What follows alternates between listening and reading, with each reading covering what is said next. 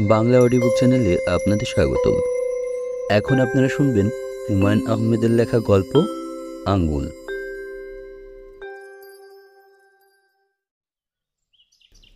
দেখি, হাত দেখি। এক হাত মিললেই হয়। মোবারক দু হাত মিলে ধরল। মোবারকের কেমন ভয় ভয় করছে। মনে হচ্ছে ডাক্তারকে হাত দেখাচ্ছে। বামুনদের মতো বেটে যে ভদ্রলোক হাত দেখছেন, তিনি কোনো ডাক্তার না। ফিল্মের ডাইরেক্টর। ফিল্মের নাম শেষ প্রতিশোধ। মোবারক লক্ষ্য করল, উত্তেজনায় তার হাতের আঙ্গুল কাঁপছে। দশটা আঙ্গুল কাঁপার কথা। তার কাঁপছে ষাটটা। কারণ ডান হাতের পাঁচটা আঙ্গুলের মধ্যে তিনটা তার নেই।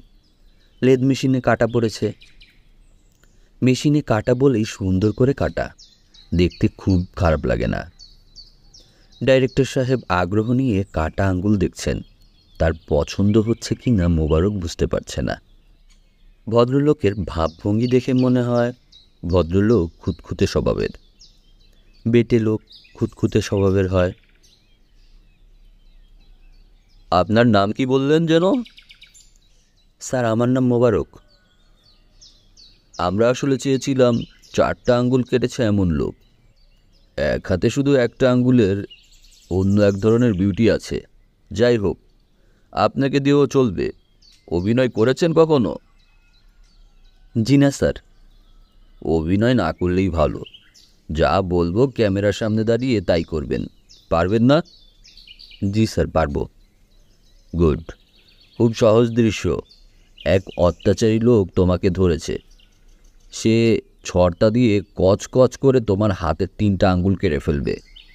এক একবার কাটবে আর তুমি আ বলে এক চিৎকার দিবে।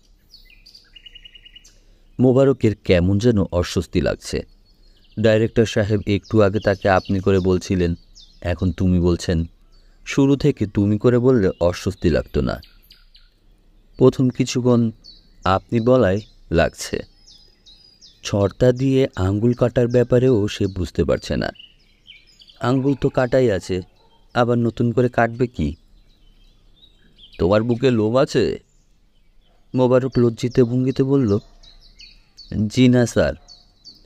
ডাইরেক্টর সাহেব বিরক্ত মুখে বললেন পুরুষের বুকে লোম আজকাল উঠেই গেছে। কারণটা বুঝলাম না। যাই হোক, তুমি শার্টটা খুলে ফেলো। খালি গায়েই ভালো লাগবে। খোলো, শার্ট খোলো। এত লোকের মাঝখানে শার্ট খুলতে মোবারকের লজ্জা লাগছে। সবাই তাকিয়ে আছে তার দিকে। যেন পুরুষ মানুষের উদম হওয়ার দৃশ্য তারা আগে দেখেনি। এদের মধ্যে মেয়ে ছেলেও আছে। একটা মেয়ে তো একেবারে লাল টুকটুক। গদি দেওয়া চেয়ারে বসে আছে। নায়িকা টাইকা হবে। নায়িকা না হলেও নায়িকার ঘনিষ্ঠ বান্ধবী কিংবা ছোট বোন। মেয়েটা একটু পরপর বিশ্রী ভঙ্গিতে হাই তুলছে। তার ছোট মুখটা তবে হাঁ করার সময় বিশাল হয়ে যাচ্ছে। জীব দেখা যাচ্ছে, কালো রঙের একটা জীব মোবারকের মনে হলো মেয়েটার জীবটা রং করে দেওয়ার দরকার ছিল। লাল টুকটুক চেহারার সঙ্গে কালো জীব মিশ খাচ্ছে না। ডাইরেক্টর সাহেব বললেন, তোমার নাম যেন কি বললে?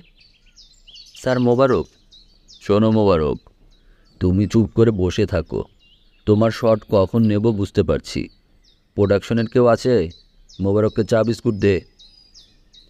মোবারক লজ্জিত মুখে বসে আছে। সামান্য কটা টাকার জন্য এই ঝামেলায় আসা ঠিক হয়েছে কি না বুঝতে পারছে না। মোবারক যে নিজে লজ্জা পাচ্ছে তা না। তার ধারণা, তার ডান হাতটাও লজ্জার মধ্যে পড়েছে। আগে যেখানে আঙ্গুল ছিল, সেই জায়গায় চুলকাচ্ছে। আঙ্গুল নেই, অথচ চুলকাচ্ছে। যাকে বলে ভৌতিক অবস্থা। এরকম তার মাঝে মাঝে হয়। লজ্জা বা অস্বস্তির মধ্যে পড়লে বেশি হয়। বললে কেউ বিশ্বাস করবে না। বলে মোবারক ব্যাপারটা কাউকে বলেনি। শুধু লতিফাকে বলেছে। লতিফা গম্ভীর গলায় বলেছে চুলকালে কি করেন? চুলকান হুম, আঙ্গুল তো নাই। কই চুলকান বাতাসের মধ্যে চুলকাই, এতে আরাম হয়। লতিফা মোবারকের ছোট ভাই আব্দুল করিমের স্ত্রী। দেড় বছর হলো বিয়ে হয়েছে। এখনও ছেলেপুলি হয়নি বলে স্বভাব চরিত্র নতুন বউয়ের মতো। লাল শাড়ি পরে মাথায় ঘোমটা দিয়ে ঘুরঘুর করে। দেখতে ভালো লাগে। নতুন বউ হলো বাড়ির শোভা। মোবারকের প্রায় মনে হয় প্রতিটি বাড়িতে একটি করে নতুন বউ থাকা দরকার। সেজে গুজে থাকবে, নতুন শাড়ি পরে ঘুরঘুর করবে। মোবারকের এই মেয়েটাকে বড়ই পছন্দ। মেয়েটা সবই ভালো, শুধু হাসি রোগ আছে। সব কিছুতেই হাসি। মোবারক হলো তার ভাসুর। ভাসুরের সামনে হাসা খুব বড় ধরনের বেয়াদবি। এই মেয়ে সেটা জানে, জেনেও হাসে। তবে এই অপরাধ ক্ষমা করা যায়। সব ভালো জিনিসে খুঁত থাকে। সোনায় থাকে গিলটি, চন্দ্রে কলঙ্ক, কি আর করা? এই যে পরীর মতো সুন্দর একটা মেয়ে তার কাছেই চেয়ারে বসে আছে, তার জিভটা তো কালো। খালি গায়ে বসে থেকে মোবারক তার অদৃশ্য আঙ্গুল চুলকায়। এক ঘণ্টার উপর হলো সে বসে আছে। ডাইরেক্টর সাহেব চা দিতে বলেছিলেন। সেই চা এখনও কেউ তাকে দেয়নি। তবে অনেকেই চা বিস্কুট খাচ্ছে। মোবারক খুব ভালো করে চারিদিকে দেখার চেষ্টা করছে। বাসায় গিয়ে এক ফাঁকে লতিফাকে বলতে হবে, বেচারি ছেলে মানুষ এই সব জিনিসে মজা পাবে। অতি ভালো একটা মেয়ে। ভাসুরের সামনে দুই একটা ছোটোখাটো বেয়াদবি করে ফেলে। বয়স কম বলেই করে। সব কিছু ধরলে সংসার চলে না। কিছু ধরতে হয়, কিছু ছাড়তে হয়। তাছাড়া এই জামানায় কয়টা মেয়ে তার ভাসুরকে খাতির করে? সেই ভাসুর কাজের ভাসুর হলেও একটা কথা ছিল, মোবারক হলো আকাজের ভাসুর। ছোট ভাইয়ের ঘাড়ে বসে খাচ্ছে, দাচ্ছে, ঘুমাচ্ছে। তাকে খাতির করার কি আছে? এই সব ক্ষেত্রে উল্টোটা হয়। ছোট ভাইকে এবং তার স্ত্রীকে খাতির করে চলতে হয়। সব সময় খেয়াল রাখতে হয়, এরা যেন বেজার না হয়। আব্দুল করিমের ব্যাপারে মোবারক যে তা করে না, তাও না। করে, নিজের অজান্তেই করে। করার পর মনটা খারাপ হয়ে যায়। নিজের উপরে রাগে গা জ্বলে যায়। গত সোমবারে রহমানিয়া হোটেলের সামনে দাঁড়িয়ে সে সিগারেট টানছিল। হঠাৎ দেখে আব্দুল করিম বাজার করে ফিরছে। দেখা মাত্র সে হাতের সিগারেট ফেলে দিল। কি কাণ্ড? নিজের ছোট ভাই। তাকে দেখে সে সিগারেট ফেলবে কেন? ভাগ্যিস আব্দুল করিম ব্যাপারটা দেখেনি। দেখলে একটা লজ্জার ব্যাপার হতো। দীর্ঘদিন চাকরি বাকরি না থাকলে মন ছোট হয়ে যায়। তখন মানুষ ছোট ভাইকে দেখে সিগারেট ফেলে দেওয়ার মতো কাণ্ড কারখানা করে বসে। তার মন যে ছোট হয়ে গেছে, এটা মোবারক জানে। কিছুটা থেমে যে ছোট হলে ভালো হতো। থামছে না। যতই দিন যাচ্ছে, ততই ছোট হচ্ছে। বিশ্রী ব্যাপার। আব্দুল করিমকে দেখলেই ইদানিং তার কেমন জানি ভয় ভয় করে। চোখের উপর চোখ পড়লে নিজের অজান্তেই চোখ নামিয়ে নেয়। অবশ্যই আব্দুল করিমের কথাবার্তার ধরনও এখন বদলে গেছে। আগে গলার স্বর চিকন ছিল। এখন মোটা হয়ে গেছে। কথা বলার সময় ভুল তালে পা না চায়। আর এখন কিছুদিন হলো চোখে চশমা পড়ছে। মোবারকের ধারণা এইসব হয়েছে বিয়ের কারণে। বিয়ে করলে পুরুষ মানুষ বদলাবেই। তার উপর বউ যদি হয় সুন্দরী তাহলে তো কথাই নেই। নতুন বিয়ে করা পুরুষদের প্রধান কাজই হলো বউকে দেখানো যে সে একটা বিরাট কিছু। কাজেই যে পুরুষের গলা চিকন সে অনেক কষ্ট করে গলা মোটা করে কথা বলবে। আশেপাশে সবার দিকে এমন করে তাকাবে যেন তারা কেউ মানুষ না, সে একাই মানুষ। শুধু মানুষ না, জ্ঞানী মানুষ। সেদিন খাবার টেবিলে বসে আব্দুল করিম জ্ঞানীদের মতো কথা বলল। প্রথম কিছুক্ষণ পা নাচালো প্রথমে ডান পা, তারপর বাপা তারপর দুটাই একসঙ্গে। পা নাচানোর পর গলা খাকারে দিল। গলা পরিষ্কার করে নিল। অপরিষ্কার গলায় তো আর জ্ঞানের কথা বলা যায় না। গলা পরিষ্কার হবার পর বলল, লতু, চশমাটা দেখি? আদর করে লতিফাকে লতু ডাকা। স্ত্রীকে আদর করে ডাকবে না তো কাকে ডাকবে? লতুর ফতু যা ইচ্ছা ডাকুক। কিন্তু বড় ভাইয়ের সামনে ডাকবে কেন? আদব কায়দার একটা ব্যাপার আছে না। তাছাড়া স্ত্রীর সামনে যে ভঙ্গিতে সে কথা বলছে, সেটা তো আদবের বড় খেলাপ। চশমা চোখে দিয়ে চশমার ফাঁক দিয়ে তাকিয়ে কথা বলা। আরে বেটা, তুই কি কলেজের প্রিন্সিপাল নাকি? তুই হলি সাব রেজিস্টার অফিসের কেরানি। চশমার ফাঁক দিয়ে তোর কথা বলার দরকার কি? আর গলা মোটা করারই বা দরকার কি? তোর যেমন গলা, তুই তেমন গলায় কথা বলবি। এরকম মোটা গলায় বেশি দিন কথা বলে তো গলায় ক্যান্সার ফ্যান্সার হবে। মোবারক অবশ্যই ভাইয়ের সব কথা মাথা নিচু করে শুনল। ভাইজান, আর কতদিন এইভাবে বসে বসে থাকবেন? কিছু একটা করা দরকার। মোবারক বলল, হুম, তিনটা আঙ্গুল কাটা গেছে। তার জন্য তো আপনি অচল হয়ে পড়েননি। হাত নেই এমন মানুষও কাজ করে খাচ্ছে। মোবারক মনে মনে বলল, ভিক্ষা করে খাচ্ছে, তুই কি চাস? তোর বড় ভাই ভিক্ষা করলে তোর মান থাকবে? বেঙ্গল টুল যে দশ হাজার টাকা আপনাকে কম্পেনসেশন দেবে বলেছিল, তার কি হলো? সেই টাকাটা পেলেও তো একটা ব্যবসা ট্যাবসা শুরু করতে পারতেন। ওরা টাকাটা কবে দেবে কিছু বলেছে? দিন তারিখ কিছু বলে নাই। দিবে তো, নাকি দিবে না? দিবে। গা সেরে বসে থাকলে কি আর দিবে? ওদের তাগাদা দিতে হবে, রোজ গিয়ে বসে থাকতে হবে। দিন রাত ঘরে বসে থাকায় কোনো লাভ নাই। লতু, পান দাও তো। লতিফা পান আনতে যাচ্ছে। এই ফাঁকে মোবারক উঠে পড়ল। পান খাওয়ার সময় সে সামনে থাকতে চায় না। তখন আব্দুল করিম একটা বিশ্রী ব্যাপার করে। সে বিশ্রী ব্যাপার দেখতে খারাপ লাগে। লতিফা যখন পান এনে দেয়, তখন গদগদ ভঙ্গি করে আব্দুল করিম হাঁ করে। আব্দুল করিমের মুখ ছোট, কিন্তু মুখের কাটা বিরাট বড়। হাঁ করা মুখ বড় বিশ্রী দেখতে। লতিফাকে সেই হাঁ করা মুখে পান ঢুকিয়ে দিতে হয়। এই ব্যাপারগুলি আগে সে আড়ালে করত। ইদানিং মোবারকের সামনেই করে। মোবারকের ধারণা আজকাল তাকে তার ছোট ভাই মানুষ হিসেবেই গণ্য করছে না। কুকুর বিড়াল ভাবছে কুকুর বিড়ালের সামনে মানুষ লজ্জা করে না। আব্দুল করিমই বা কেন করবে? ভাইজান, আপনি টাকাটা উদ্ধার করার চেষ্টা করেন। আচ্ছা টাকাটা পেলে আমিও কিছু দিব। দুইটা মিলায়ে একটা দোকান টোকান দেন।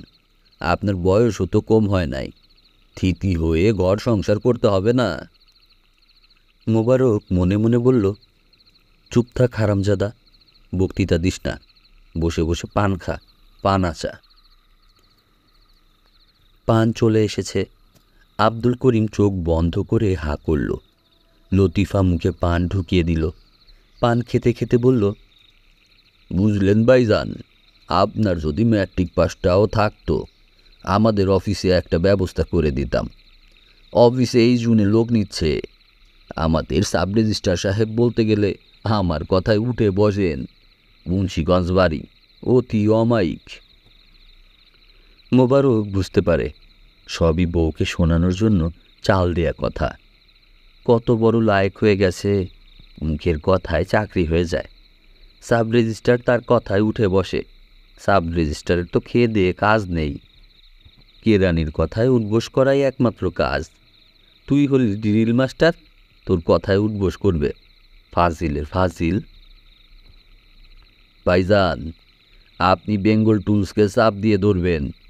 কম্পেনসেশন দেবে না মানে তার বাপ দিবে। তেমন ঝামেলা করলে আমার লোক আছে মেয়েরে তক্তা বানিয়ে দেবে। শুধু তক্তা না, প্রয়োজনে তক্তায় বার্নিশ দিয়ে দেবে। হা হা হা। এটা হলো আব্দুল করিমের রসিকতা। বিয়ের পর সে আবার রসিকও হয়েছে। রসিকতা করে নিজেই হা হা, হি হি করে হাসে। তার মান রক্ষা করতে লতিফাকেও হাসতে হয় মায়া লাগে মেয়েটার জন্য। তক্তায় বার্নিশ দিয়ে দেবে, এটা কি কোনো হাসির কথা? এই কথা শুনে বেকুব ছাড়া কেউ হাসবে? অথচ মেয়েটাকে হাসতে হচ্ছে। আব্দুল করিম আবার হা করল। আরেকটা পান খাবে। এই দৃশ্য দাঁড়িয়ে দেখাও শাস্তির মতো। মোবারক চলে যেতে ধরেছে। আব্দুল করিম বলল, ভাইজান, একটা কাজ করেন। আমাকে এক প্যাকেট সিগারেট এনে দেন। সিগারেট শেষ হয়ে গেছে। লতু, টাকা এনে দাও। পঞ্চাশ টাকার একটা নোট দাও। ফাইভ ফাইভ আনবেন। মোবারক জানে, সংসারের কাঁচা পয়সা আসতে শুরু করেছে। কেরানি ফাইভ ফাইভ সিগারেট খায় না। আব্দুল করিম ইদানিং খাচ্ছে। একটা ক্যাসেট প্লেয়ারও কেনা হয়েছে।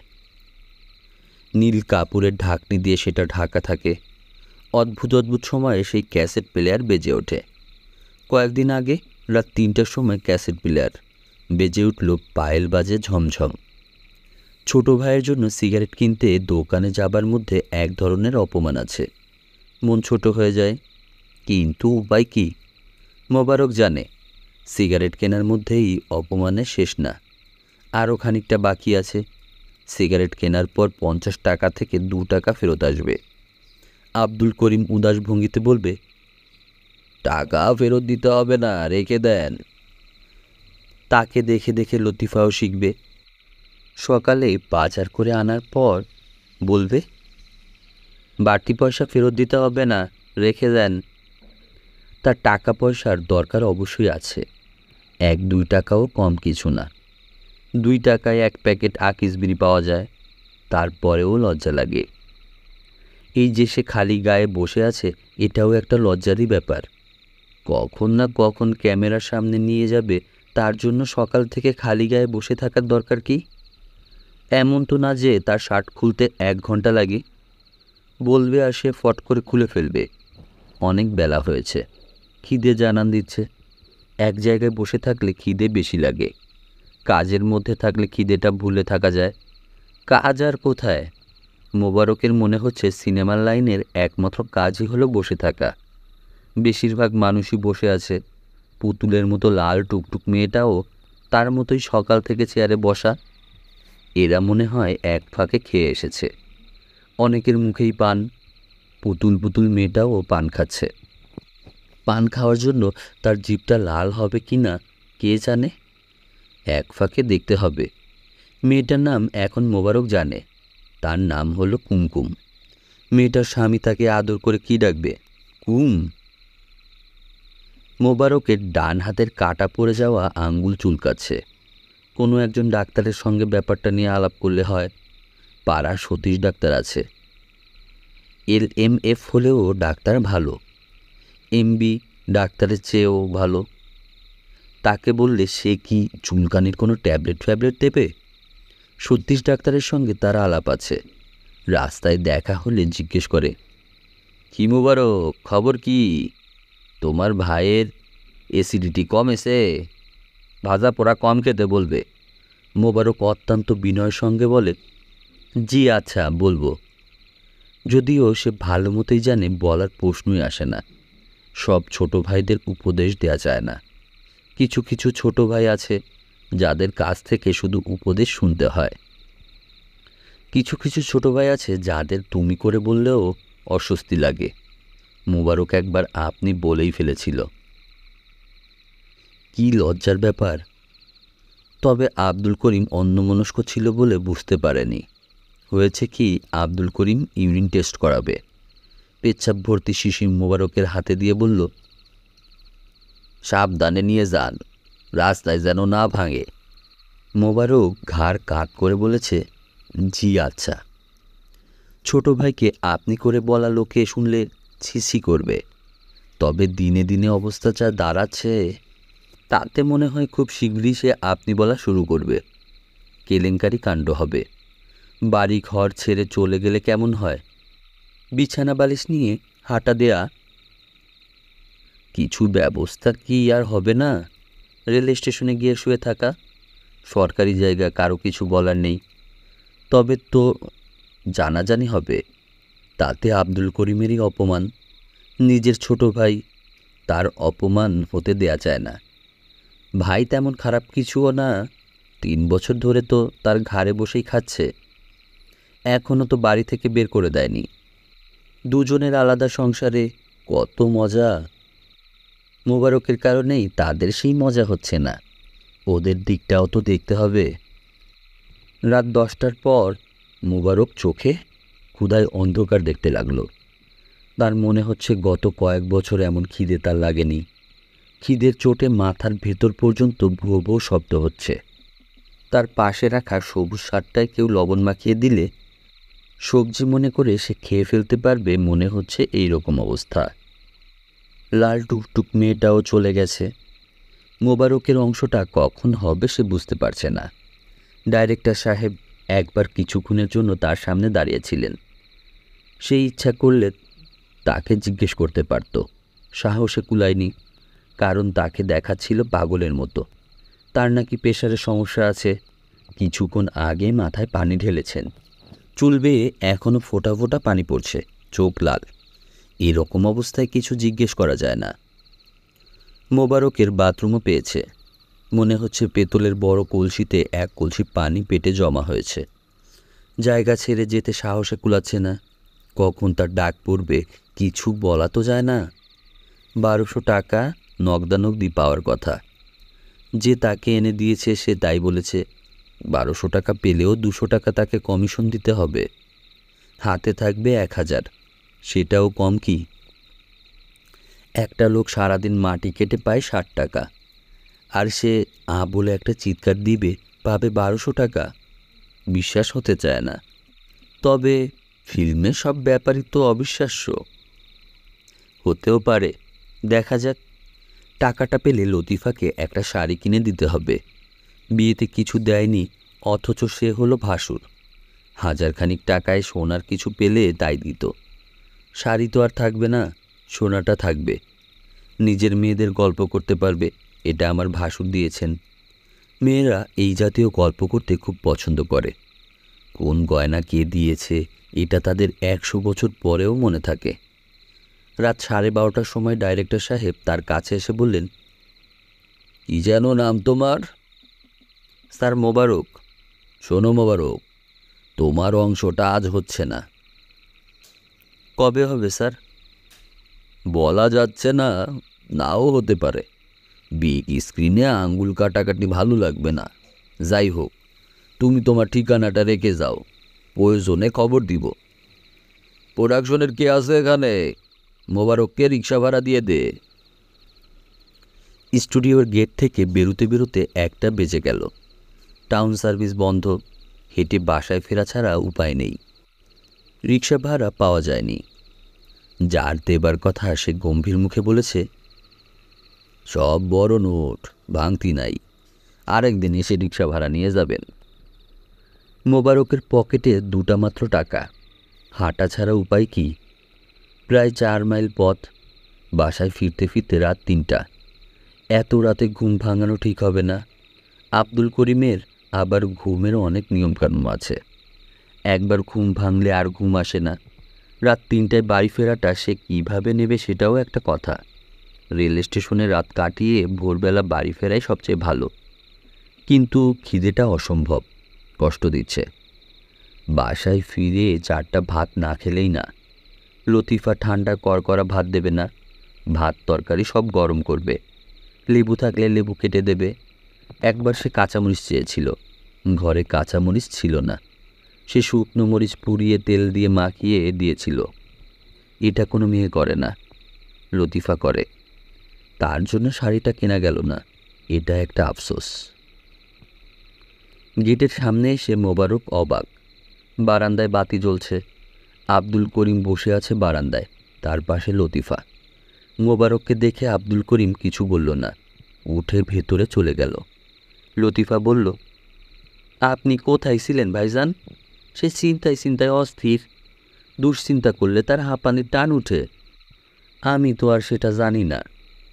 রাত একটায় তার হাঁপানির টান উঠল। বারান্দায় বসে বসে বড় বড় শ্বাস নিচ্ছে। আমি ভয়ে অস্থির। মোবারক লজ্জিত ভঙ্গিতে হাসল। লতিফা বলল, ভাত খেয়ে এসেছেন? না। হাত মুখ ধুয়ে আসেন, ভাত দেই। কোথায় ছিলেন বলেন তো? ভাত খাওয়ার সময় লতিফা সামনে থাকে। আজ নেই, না থাকলেই ভালো।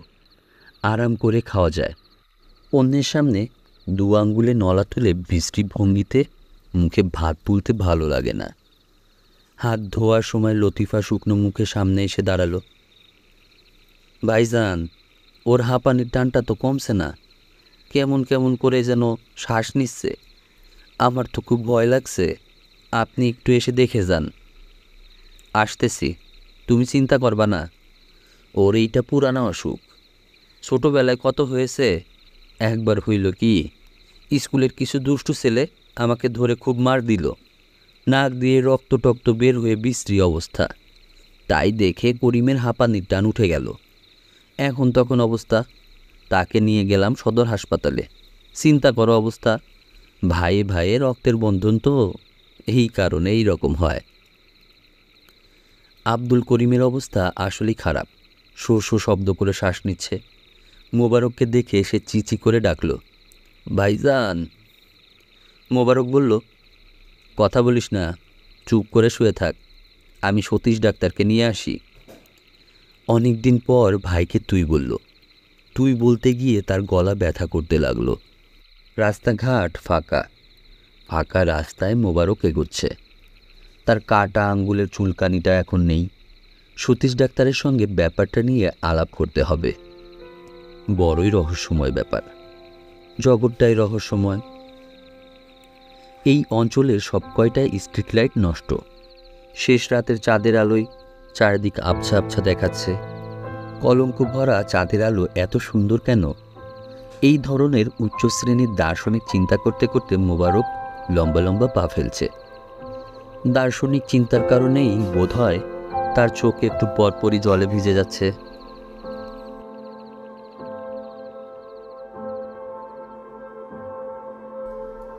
প্রিয় শ্রোতা, আপনারা তখন শুনছিলেন হুমায়ুন আহমেদের লেখা গল্প, আঙ্গুল। কেমন লাগছে আমাদের গল্পগুলো শুনতে? যদি ভালো লেগে থাকে তাহলে অবশ্যই কমেন্ট করে জানাতে ভুলবেন না। এবং অবশ্যই অবশ্যই আমাদের চ্যানেলটি বন্ধুদের সাথে শেয়ার করতে ভুলবেন না। আজকে এই পর্যন্তই। সবাই ভালো থাকবেন। আল্লাহ হাফিজ।